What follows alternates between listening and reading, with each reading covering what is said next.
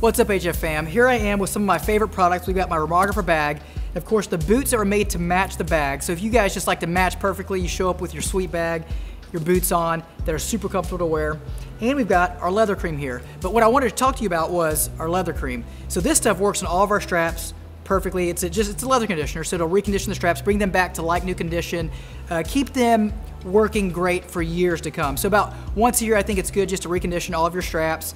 And if you get any scratches or marks on the bag or the boots, it's perfect to apply it there. So here is the Roamographer boot. And as you guys know, this sucker was made to match the bag. It's made with bison leather and bridle leather accents. And it's got the Vibram sole, which is super comfortable. So these, these things I wear all day, every day, because they're just so comfortable and they look so good.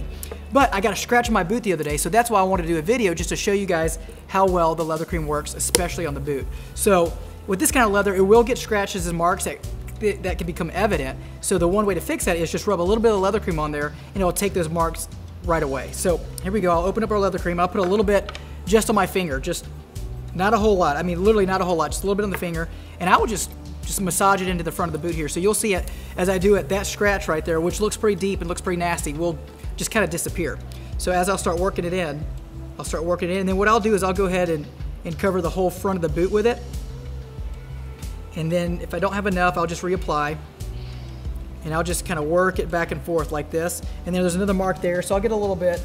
And uh, you could use a rag too if you want, but a lot of times I'll just use my fingertip and just kind of do a quick touch up on the boot and then it just refreshes the front, the toe cap of that boot perfectly. So I just work it in like this, just in circular motions, like that. And you'll notice here that the leather just sort of looks fresh again.